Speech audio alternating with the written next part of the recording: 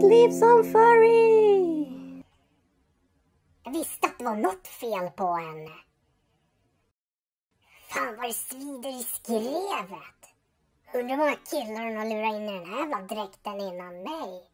Vad fan är hon någonstans? Vad fan är det här då? Kanske har den som kondom? Kanske ute efter den där djuriska känslan? Fan, kom då! Avsluta lördag natt med lite djursex är inte helt fel.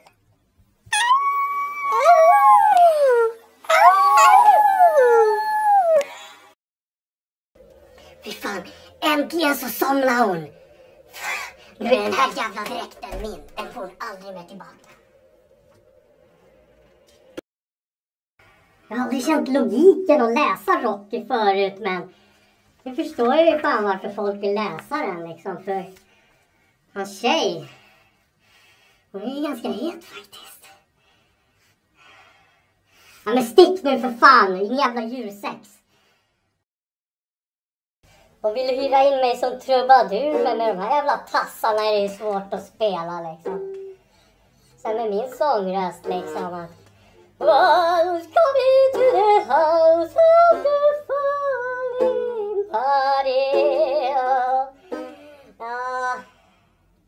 det är nog inte så många som skulle bli glada fast de säljer väl bira i alla fall så att de orkar lyssna på mig liksom.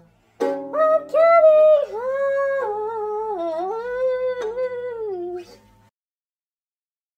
Rysk roulette? Det håller väl inte vi rävar på med? Vi är ganska nöjda med att slicka oss själva i skrevet bara.